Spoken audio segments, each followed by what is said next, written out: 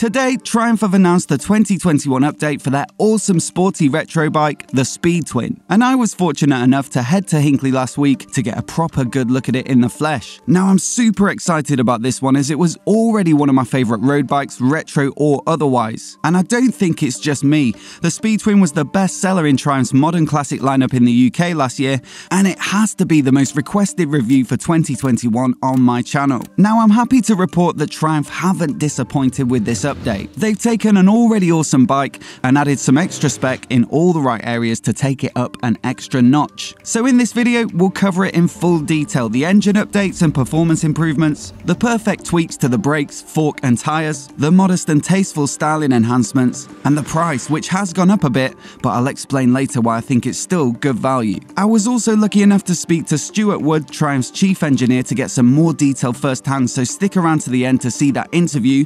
But before we get into the nitty gritty, let's take a proper good look at it.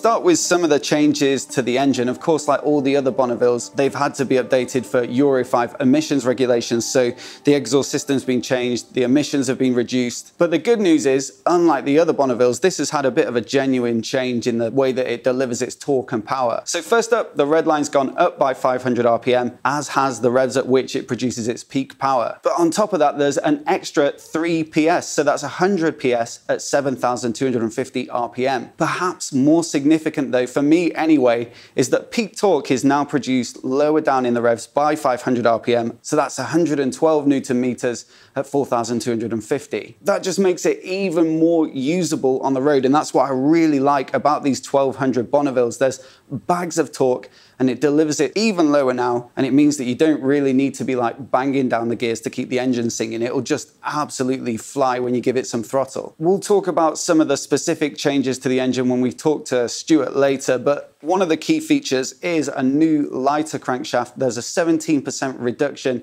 in inertia, and that means that the engine spins up quicker. So it's also going to feel more lively on the throttle. You still got the six-speed gearbox and the slip assist clutch. The only negative, I suppose, of the Euro 5 work is that fuel consumption is up by about 5%. But for me, I'd take it, given that it produces a bit more power at the top and produces its torque even lower. But not only should it be quicker in a straight line, but some of the changes to the chassis mean that it's a better handling bike as well, or so Triumph claim. Hopefully we'll find out soon when we get a chance to ride one. A big change is the brakes. They weren't bad on the previous gen. It had Brembo four-pot calipers, I think, on 305mm discs. But on this generation, you now get Brembo M50 calipers, so radially mounted monoblock calipers for extra crispness on the initial bite, and Triumph also say a better feel as well well, and they're on larger diameter 320mm discs. If you can cast your mind back to the previous bike as well, it had regular right way up suspension. This has had an update to the fork, so you've got a Marzocchi upside down fork, 43 mil. And generally the benefits of like upside down forks are less unsprung weight because the thinner bits at the bottom, so you should get better responsiveness, and also the thicker bits at the top, so less twisting from braking and turning. So generally performance should be tighter and better handling on this bike. The shocks are pretty much the same, but the settings for both the fork and shock have been optimized for this bike so they work well well and improve the handling overall. Last up in terms of handling, we've got new tyres on this, so Metzeler Racetech RRs. Those are proper, good, sporty tyres, the sort of thing you find on the Speed Triple. Although the old one had Pirelli Diablo Rosso 3s, you know, they were decent tyres, but these should be even stickier and again add to the handling on this bike. Elsewhere, the chassis is pretty much the same, so the frame and stuff. I think the seat height is up by like two mil, but I think the headline is that those changes to the brakes, the suspension, and the tires should really transform this bike in terms of handling. Now, from a tech perspective, you know, the Speed Twin's a very simple bike, and I think a lot of people like that about the retros. There's no TFT dash with connectivity or anything. You've just got three riding modes, so rain, road, and sport. ABS, which isn't switchable, traction control, which is switchable, and then the throttle map and TC are optimized for each of those riding modes. Those have been updated this year to complement the new performance specs, but elsewhere it's pretty much the same. I mean, from a tech perspective, probably the highlights are the LED daytime running light, LED indicators, a nice LED tail light as well. You've got analog clocks, a twin clock, so you've got speed and revs, but also some LCD inserts that give you all the other sort of riding data. There is a USB socket. You can spec uh, tire pressure monitoring, heated grips, but other than that, it is super simple and all the better for it, in my opinion. It's also worth adding that Triumph have just announced a tie-in with Beeline Moto, which is a small navigation device check out any of my previous videos, especially like moto vlogs where I'm actually on the bike and you'll see one mounted on my bars. I'm a massive fan. It's a really nice, simple way to navigate and easy to stick on any bike. The Triumph version is branded up so it'll match your bike nicely. It'll really suit a retro bike like this and I suppose the other good thing is you can spec it as an accessory so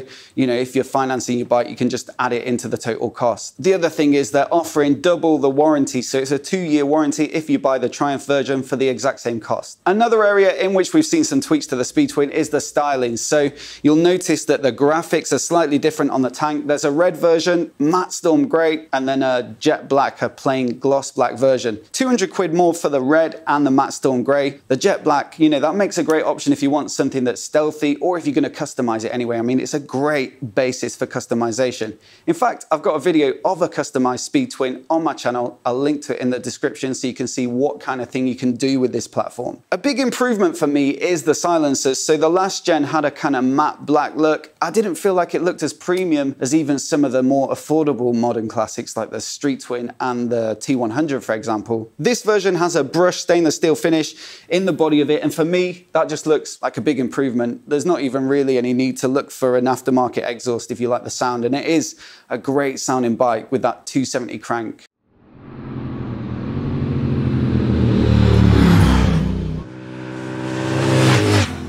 Other visual tweaks are the headlight brackets. There's new 12 spoke wheels. So the previous gen had seven spoke. Is that right? Seven spoke wheels, they looked a little bit like the wheels off a speed triple or something. I think these ones with more spokes they give a bit of that classic style to it, almost looking like a spoke wheel, and I think they really set it off nicely. You still get the really nice looking brushed mudguards front and rear, but you've actually got a mudguard mount on the front now that looks a bit more like the Thruxton, a bit more sporty, given that it has to be mounted on that upside down fork. But overall, the best thing about this bike for me is the stance. Kind of out of the Bonneville range, it's got the most aggression to it, it has a slightly forward tilt, and I think it just looks brilliant. The details are great, but overall, I think from a distance, this is just such a great looking bike. So the big question is, what's the price? And it has gone up by 300 quid to 11 grand from 10,700 last year. A few of the Bonnevilles have gone up by a few hundred quid this year, and I think mostly it's justified given that there have been increments in spec. But for me, this is the standout in terms of value for money delivered in 2021. 300 quid doesn't really feel like much to say you're getting more power at the top, better delivery of torque in the lower mid-range, better forks, better tyres, better brakes, some great styling as well. For me, it's just a bit of a no-brainer, but let's speak to Stuart to get a bit more detail on the bike. So I guess a good starting question for this bike is it was already quick and lively and fun to ride. So what prompted you to give it such a significant update? Is that based on customer feedback or you just fancied it? no, it's always it's always based on customer feedback. We really do listen hard to what people want, mm. and we, we take note. As you said, the bike's always been focused, a sporty classic. Mm. We want that sports feel, we want that performance, um, but you still want to retain the attitude and the style. So yeah, the, the upgrades, both engine and chassis, all based on, on feedback and they're all linked. So they all help one another achieve yeah. the, the overall goal. So you mentioned the, the engine there. I wondered if you could give us a bit of detail on how you've achieved those improved performance figures with regards to the tweaks internally. Okay, well, you've mentioned the inertia. That's a lighter, lower inertia crankshaft, but also a rare earth alternator as well. Okay. So there's extra spec in there, but that's to reduce the inertia, so 17% reduction in inertia. Now, right. what that gives you is faster pickup on the throttle, more responsive, but it also aids the handling because we always design bikes to work as a whole, not, not just an engine or a chassis. So when you're riding at high RPM and at low road speeds, mm. that lower inertia on the engine really does aid the agility of the bike. Now, in terms of the performance, we're running a higher compression ratio. So we've got a different piston with machined crown. Uh, we've got higher lift valves, both intake and exhaust, and longer duration. We've tweaked the intake ports as well. So overall, that gives you uh, more performance. We've even increased the combustion pressures. You know, we've done a lot of work on the tune, and as you mentioned, then the traction control mm. and the maps all change with that to complement that performance.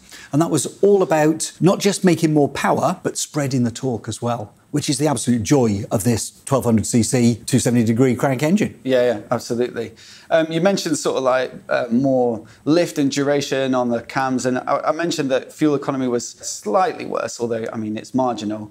Uh, is that kind of the challenge you're faced with now with stricter emissions regulations that you're having to give up a bit more fuel to get similar performance figures? Well, actually, now we, because it is increased performance, yes, there is a little more fuel consumption on the cycle, the drive mm. cycle for, for emissions, but it always has done and always will do depend on how you're riding. So yeah. depend, and, and, it is a sports engine with more response, more power, and a wider spread of torque. So I think that's what well, that's certainly what people have been asking us for, and it certainly feels fantastic in the bike. With regards to the sort of exhaust system, you said there were quite a few changes there as well to clean it up. I wondered if you could go into some of those as well. Well, what we've done, we've added some more tech. Mm. We've got a secondary air injection system now, so that feeds air into the exhaust system to help clean up uh, any any emissions. We've added two more catalysts, mm-hmm. so we've got the catalyst that's underneath the engine, which we've always had, but in addition, there's one in the front of each of the silencers as well. Okay, interesting. And how has that added any weight? I couldn't figure it out because I got a dry weight for the previous gen and a wet for this one. Yeah, there is a very small increase in, in weight, but that's more than accounted for by the increased power and the increased um, spread of torque. So it's still pretty much on a par with the Thruxton in terms of weight, a very kind of agile. Yeah, it is, absolutely. In terms of better braking, um, I think in the briefing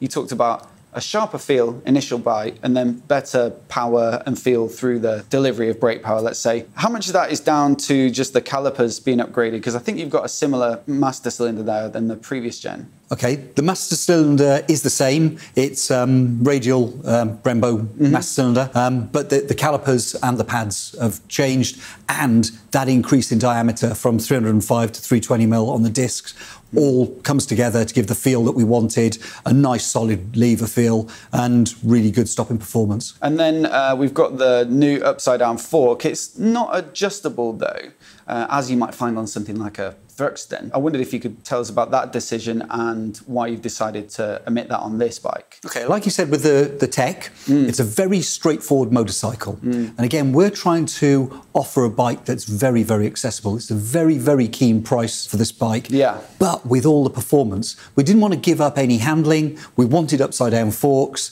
We wanted to match that with the brakes as well because we've got more stopping power and more bite. So again, a little more control at the front. Yeah. It all fits together to make for a more agile, um, sharper handling bike with better engine response. Hopefully, it's not too long until we get to ride one. From a riding perspective, you know, we talked about the specs and technical changes, but what would I expect to feel versus the previous gen when I jump on this bike?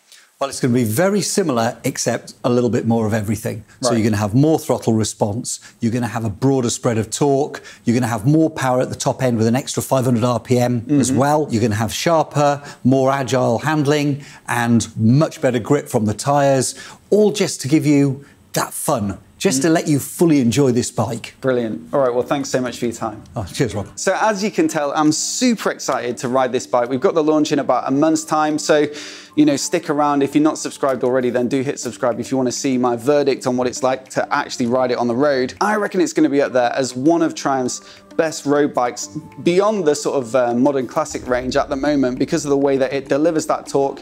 It's got a slightly more relaxed position than the Thruxton, so I think it's more versatile and usable. And versus the Roadsters, you don't really have to like rev it in the same way to get the most out of it. I really think this is going to be a great bike, so please do join me then for that video.